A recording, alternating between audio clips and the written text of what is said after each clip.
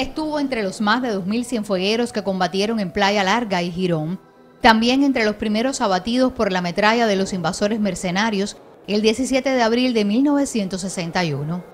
Algunos de aquellos milicianos vinieron a honrar a Máximo Ramón Jauregui Díaz, el joven de 20 años, y con él a la historia de los integrantes del batallón 339, primeros en contener la invasión mercenaria. Honores le rindieron en guardia ante sus restos que hallados en agosto de 2019 e identificados a finales del pasado año por expertos de matanzas, pusieron fin a la tristeza e incertidumbre de familiares y amigos para regresarlo a su tierra tras 62 años.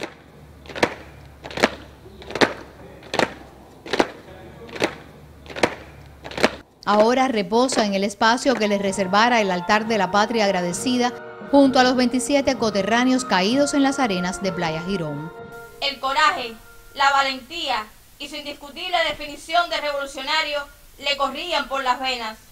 Hoy sabemos que heredó de su madre ese compromiso por Cuba al recordar sus históricas palabras.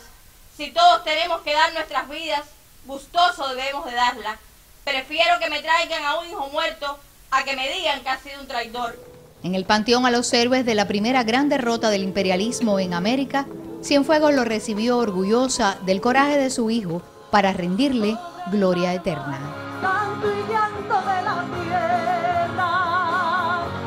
Ismari Barcia, Notisur.